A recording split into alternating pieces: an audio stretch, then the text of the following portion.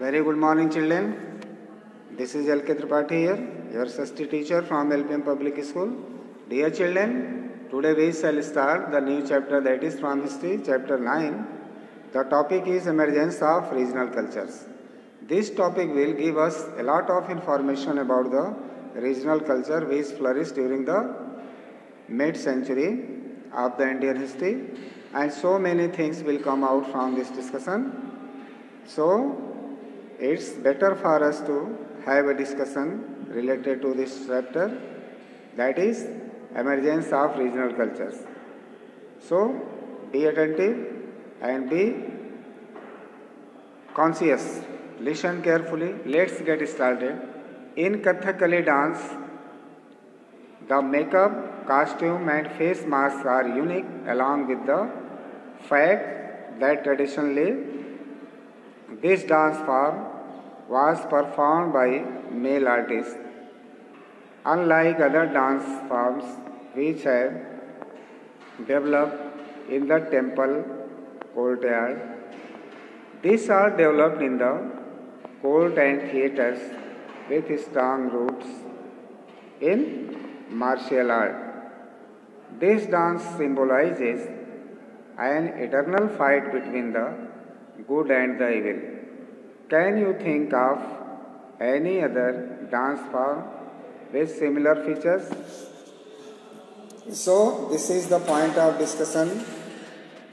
What the dance style nowadays we observe or we see in the modern era, modern history.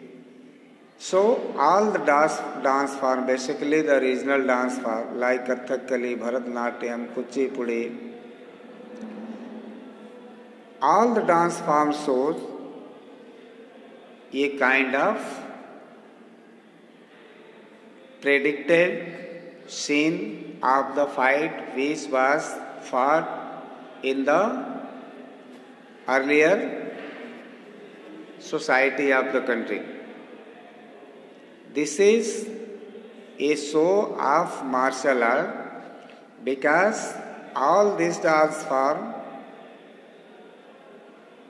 show the fight between good and evil.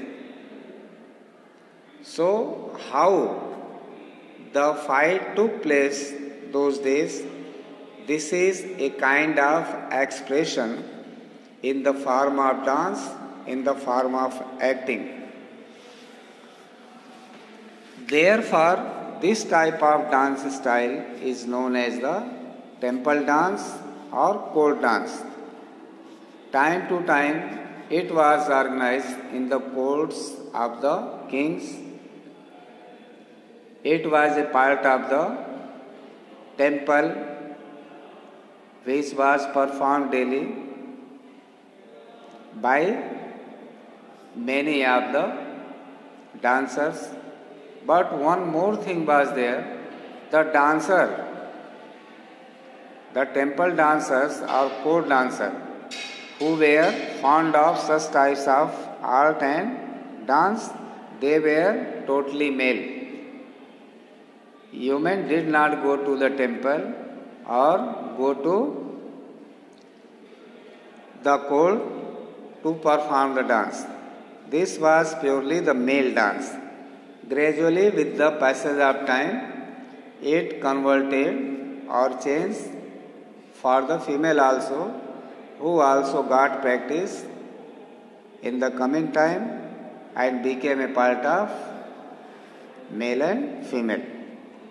A striking feature of the medieval period in India was the development of several regional languages. Sanskrit and Persian continued to be the language not only of the upper classes but also in the court. These two languages were very popular those days. First Sanskrit and Persian.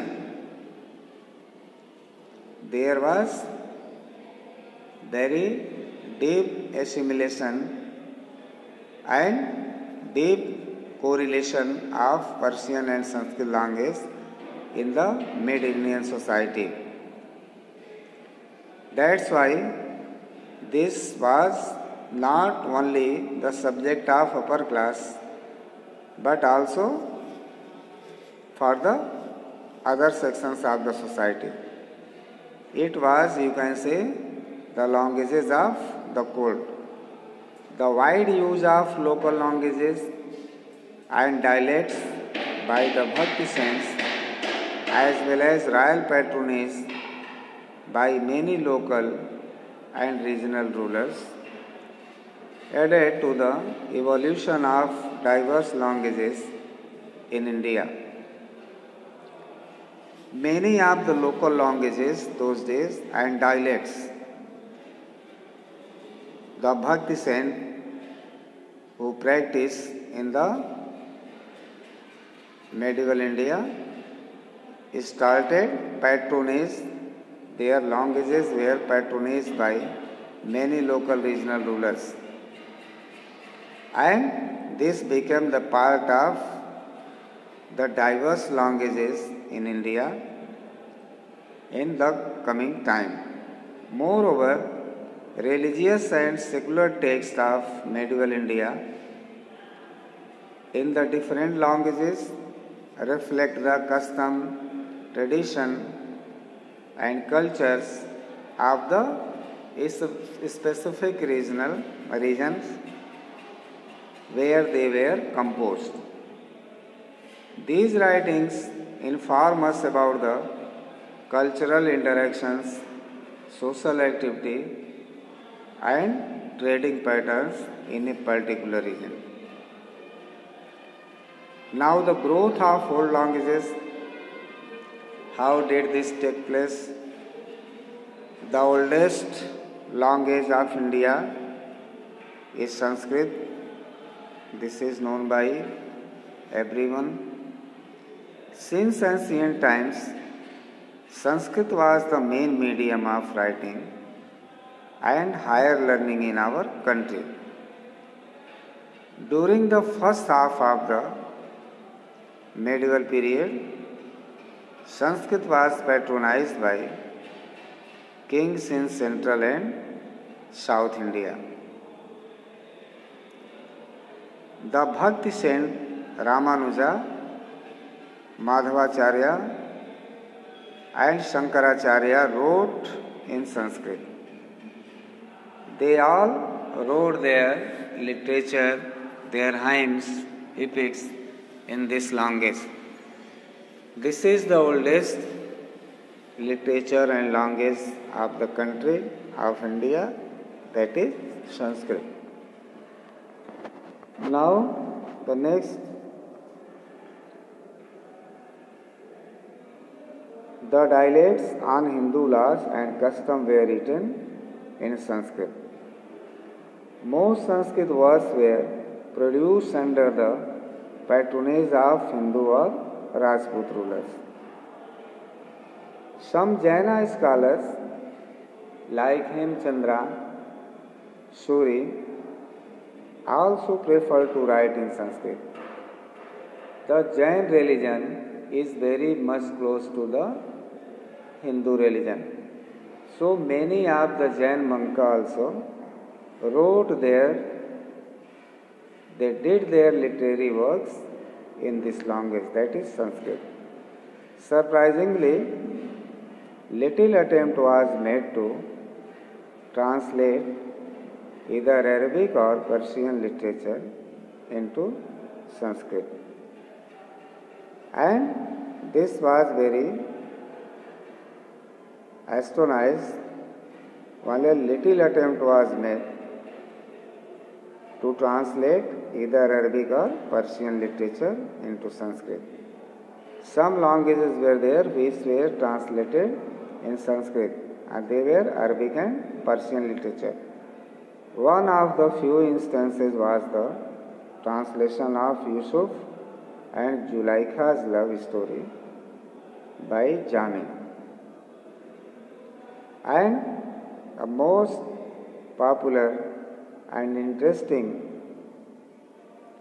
story that was Yusuf and Zulaikha's love story, written by Jami, was translated in Sanskrit also. However, Sanskrit literature, especially the epics Mahabharata and the Ramayana, as well as the Puranas, were frequently translated into regional languages. Kalhana Rajatarangini, written in the 12th century, was a string of biographies of the kings of Kashmir and was the first royal chronicle in Sanskrit. Kalhada Rajatarangini, who belonged from Kashmir, it was written during 12th century. This book became very popular those days and it was the entire string of biographies of the kings of Kashmir and was the first royal chronicles in Sanskrit. First time the royal chronicle in Sanskrit it was written and the story and lifestyle of the Kashmiri rulers was written in this book. The family histories of the Rajput rulers such as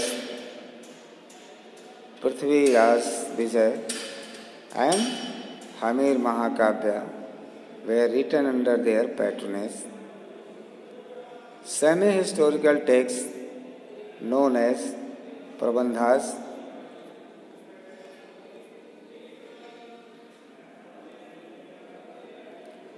were also composed during this period. Considered as one of the finest works of the Sanskrit language, Jayadeva's Geet Govinda, composed in the 12th century. This is also very popular book written by Jayadev. The book is Geet Govinda, written in Sanskrit. Describe the relationship between Lord Krishna and Radha. It comprises 12 chapters, each of which is divided into 24 subdivisions or prabandhas. Geet Govinda, written by Jadeva, is written by him, is a very popular and very interesting book. This book depicted on the relationship between Lord Krishna and Radha. The verses of the Geet Govinda had inspired many choreographies works in Indian classical dance. In the south, the rulers of Vijayanagar, the Naikas of Tanjore, and the chiefs of Travancore and Cochin also extended their patronage to works in Sanskrit. Many genres of Sanskrit, like Mahakavyas, historical kavyas, and dramas were written during this period. Govinda Dikshita Appaya Dikshita at the court of Vellore and Nilantha Dikshita at the court of Madurai were some of the important writers of this period next Arabic and Persian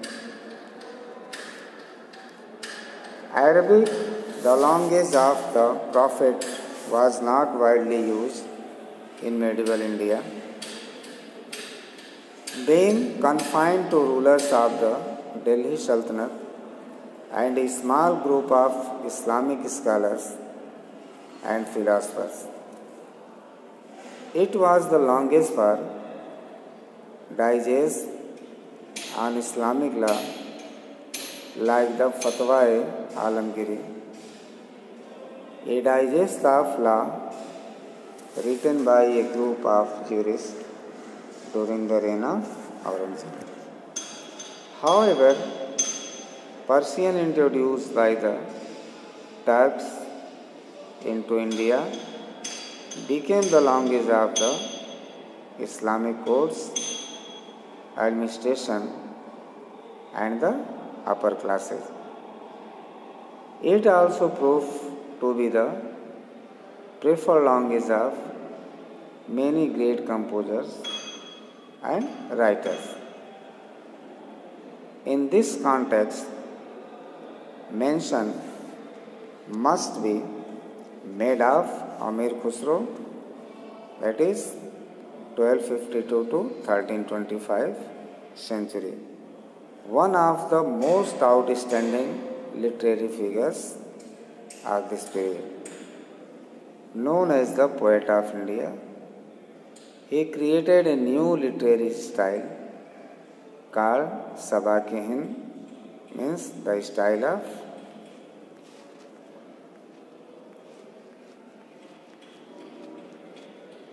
India. He began his career at the court of And was associated with the court of Delhi Sultanate. A disciple of Nizamuddin Aulia, he was a great poet, historian, scholar, mystic, and composer of music. His famous works include Shirin Khusro, Laila Majnu etcetera masnavis are narrative poems which are of great historical and literary value like Qiran us Sadain and Tughlaqnama they are also written by him the Khaliq Bari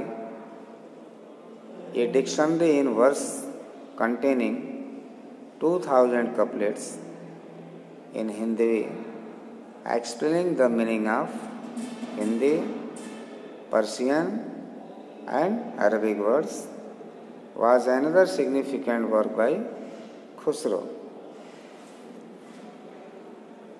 Cole Chronicles were distinct literary genius of the period and the important works were Futu us Shalatin, Futuhat Firoz Shahi and Tabakati Nasiri, translation of classical Sanskrit works into Persian was also undertaken during this period. The Ramayana and the Mahabharata were also translated into Persian during the 15th century. Biographies, autobiographies, and histories were also written throughout the Mughal period in Persian and Turkish. The Babar Nama, Tuzuke Jahangiri, Gulbadan Begum's Humayun Nama, Abul Fazl's Akbar Nama, Badayunis, Padasanama were some of the significant literary works written during this period. So, in this way, we have come to know much more about the Indian languages, the importance of literature, and relationship between Arabic, Sanskrit, and Persian literatures. So many writers uh, were there during this period who wrote their books according to their own. So that's all. We shall discuss the next in the next video. Thank you.